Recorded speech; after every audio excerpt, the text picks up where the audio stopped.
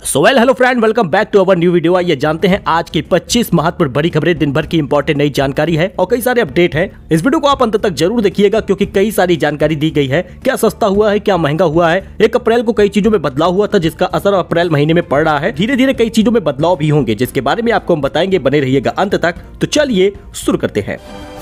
देखिए, प्रधानमंत्री मोदी उत्तराखंड के रुद्रपुर में चुनावी रैली को संबोधित करेंगे। इसके बाद वो राजस्थान के कोटपुतली में रैली करेंगे। यह आज इनका कार्यक्रम होगा?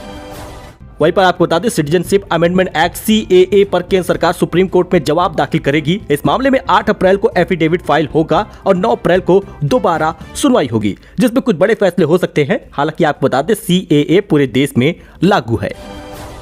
वही आईपीएल में रॉयल चैलेंजर बेंगलुरु और लखनऊ सुपर ज्वाइंट के बीच आज मुकाबला होगा। यह मैच बेंगलुरु में खेला जाएगा। पिछले मैच में आरसीबी के बेहतरीन बैटिंग के बावजूद भी उनको हार मिली थी। विराट कोहली का अच्छा खासा स्कोर बेकार चला गया था। वैसे आप किसको सपोर्ट कर रहे हैं कॉमेंट कर दीजिएगा। वहीं पर केजरीवाल को 15 अप्रैल तक तिहाड़ भेज दिया गया है। बैरक में अकेले रहेंगे, छह लोगों से मिल सकेंगे। यह दोस्तों, दिल्ली की राउज एवेंट कोर्ट ने शराब नीति केस में सीएम अरविंद केजरीवाल को 15 अप्रैल तक जुडिशियल कस्टडी में भेज दिया है। वो तिहाड़ में जेल नंबर दो में रहेंगे। यहाँ बैरक में वह अकेले रहेंगे। ईडी ने कोर्ट में दलील दी थी की केजरीवाल जाँच में सहयोग नहीं कर रहे हैं। केजरीवाल ने अपनी गिरफ्तारी और रिमांड के फैसले को दिल्ली हाई कोर्ट में चुनौती दी है। ईडी आज हाई कोर्ट में जवाब दाखिल करेगा, लेकिन केजरीवाल ने जेल प्रशासन को छह लोगों की लिस्ट दी है, जो कानून के तहत उनसे मुलाकात कर सकते हैं। इसमें पत्नी सुनीता, बेटा पुलकित, बेटी हर्षिता और प्राइवेट सेक्रेटरी विभव कुमार और आम आदमी पार्टी के महासचिव संदीप पाठक और एक दोस्त का नाम शामिल है। वैसे आपको बता दें, तिहाड़ में केजरीवाल का पूरा रूटीन होगा क्या?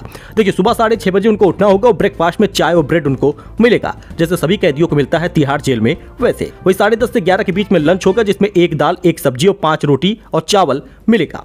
वही आपको बता दें, तीन बजे तक उनको अपने सेल के अंदर ही रहना पड़ेगा, यानी कमरे में, जेल में। वहीं पर साढ़े तीन बजे चाय और दो बिस्कुट मिलेगा। वही साथ ही आपको बता दें, चार बजे अपने वकील से वो मिल सकेंगे और साढ़े पाँच बजे लंच जैसा डिनर मिलेगा और सात बजे वापस अपने सेल में उनको जाना होगा। जेल में इनको क्या क्या सुविधाएँ मिलने वाली है? देखिए, टीवी ये देख सकेंगे, न्यूज़ एंटरटेनमेंट और खेल सहित अठारह से बीस चैनलों की अनुमति इनको मिली है। वही चौबीस घंटे डॉक्टर उपलब्ध होंगे, डायबिटिक होने की वजह से रोज़ाना जाँच की जाएगी। वही हफ़्ते में दो बार परिवार के सदस्यों से मिल सकेंगे, जो जेल सुरक्षा की ओर से नाम तय होंगे। वही तिहाड़ में विपक्ष के चार अन्य नेता भी हैं, जो आम आदमी पार्टी के ही हैं। और ये लोग किस जेल में हैं? देखिए, जेल नंबर एक में मनीष सिसोदिया है, जेल नंबर पाँच में संजय सिंह है, जेल नंबर सात में सत्येंद्र जैन है और जेल नंबर सिक्स में के कविता है।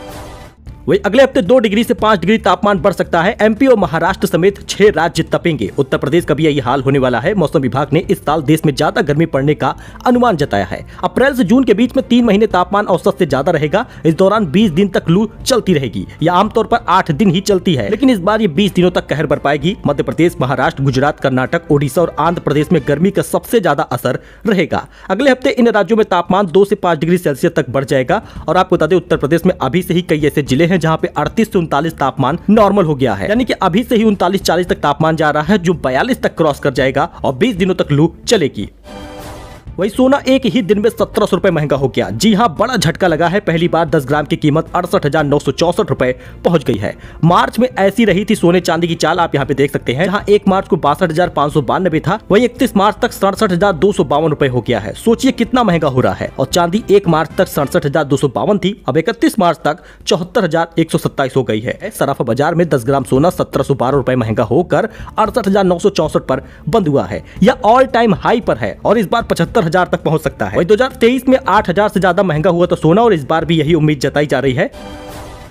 वही ज्ञानवापी को लेकर बड़ा फैसला गया है। ज्ञानवापी में पूजा, नमाज़ जारी रहेगी। सुप्रीम कोर्ट ने पूजा पर रोक लगाने वाली याचिका खारिज कर दी है। दोस्तों, ज्ञानवापी के व्यास तय खाने में पूजा के खिलाफ मस्जिद कमेटी की याचिका पर सुप्रीम कोर्ट ने सुनवाई हुई और अदालत ने इलाहाबाद हाईकोर्ट के आदेश पर रोक लगाने से इनकार कर दिया है। सीजेआई डीवाई चंद्रचूड़ ने कहा कि ज्ञानवापी यथास्थिति बरकरार रहेगी, यानी मस्जिद के बाकी हिस्सों में मुसलमान नमाज़ अदा करेंगे और तहखाने में हिंदू पूजा करते रहेंगे। चीफ जस्टिस ने यह भी कहा कि सुप्रीम कोर्ट की मंजूरी के बिना इसमें कोई बदलाव नहीं किया जाएगा। हाईकोर्ट का आदेश क्या था? हाईकोर्ट ने 26 फरवरी के अपने आदेश में वाराणसी डिस्ट्रिक्ट कोर्ट से उस फैसले को बरकरार रखा था, जिसमें हिंदुओं को ज्ञानवापी मस्जिद के दक्षिणी तहखाने, व्यास तहखाने के अंदर देवताओं की पूजा करने की इजाज़त दी गई थी। वही अमित शाह बोले, बीजेपी में चुनाव कार्यकर्ताओं के दम पर जीतते हैं। चार सीटों पर जीत की प्लानिंग दी है। दोस्तों, गृह मंत्री अमित शाह ने जोधपुर में भाजपा कार्यकर्ताओं को संबोधित किया। उन्होंने कहा कि भाजपा ऐसी पार्टी है जिसमें चुनाव नेताओं के दम पर नहीं जीते जाते, बूथ के कार्यकर्ताओं के दम पर जीते जाते हैं। मैंने जोधपुर, बाड़मेर, पाली और जालोर सिरोही लोकसभा सीट पर जीत के लिए डिटेल प्लान दे दिया है। इस प्लान को लागू करना कठिन है, लेकिन भाजपा कार्यकर्ता ऐसा काम कर लेते हैं। वही आईपीएल में मुंबई की लगातार तीसरी हार हुई है और हार्दिक पांड्या लगातार ट्रोल हो रहे हैं। होम ग्राउंड पर राजस्थान ने छह विकेट से उनको हराया है। जी हाँ दोस्तों आईपीएल में राजस्थान रॉयल्स ने मुंबई इंडियंस को छह विकेट से हरा दिया। वानखेड़े स्टेडियम में मुंबई ने 20 ओवर में नौ विकेट के नुकसान पर 125 रन बनाए थे। ट्रेंट बोल्ट और यजवेन चहल ने तीन तीन विकेट लिए और मुंबई से तिलक वर्मा बत्तीस रन और हार्दिक पांड्या चौंतीस रन बनाए हैं। रोहित शर्मा, जो सबके चहीते हैं, ज़ीरो रन पर आउट हो गए। राजस्थान ने 126 रन का टारगेट 15 ओवर में ही हासिल कर लिया और ये मुंबई की तीसरी हार है। पाँच बार की चैंपियन मुंबई इंडियंस को इस सीज़न में लगातार हार का सामना करना पड़ रहा है और इस बार मुंबई इंडियंस के कप्तान भी नए हैं। हार्दिक पांड्या कप्तान है और रोहित शर्मा को कप्तानी से हटाया गया है।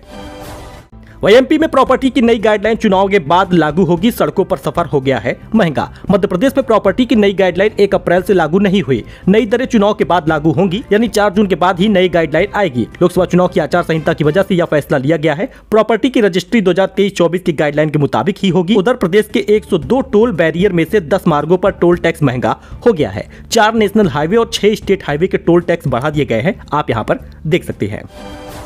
वही चीन ने दोस्तों अरुणाचल को अपना हिस्सा बताया। तीस जगहों के नाम बदल दिए हैं। सात साल में चौथी बार ऐसा उसने किया है। चीन ने अरुणाचल प्रदेश को अपना हिस्सा बताकर वहाँ की तीस जगहों के नाम बदल दिए हैं। चीन की सिविल अफेयर मिनिस्ट्री ने इसकी जानकारी दी। साउथ चाइना मॉर्निंग पोस्ट के मुताबिक इनमें से ग्यारह रिहायशी इलाके, बारह पर्वत, चार नदियाँ, एक तालाब और एक पहाड़ से निकलने वाला रास्ता शामिल है। पिछले सात साल में ऐसा चौथी बार हुआ है जब चीन ने अरुणाचल की जगहों का नाम बदला हो। जयशंकर बोले, नाम बदलने से कुछ नहीं होता। लेकिन नाम बदलने के पीछे चीन का एक दावा है। दरअसल चीन अरुणाचल को दक्षिणी तिब्बत का हिस्सा बताता है। अरुणाचल प्रदेश पूर्वोत्तर का सबसे बड़ा राज्य है। नॉर्थ और नॉर्थ वेस्ट में तिब्बत, वेस्ट में भूटान और ईस्ट में म्यांमार के साथ यह अपनी सीमा साझा करता है।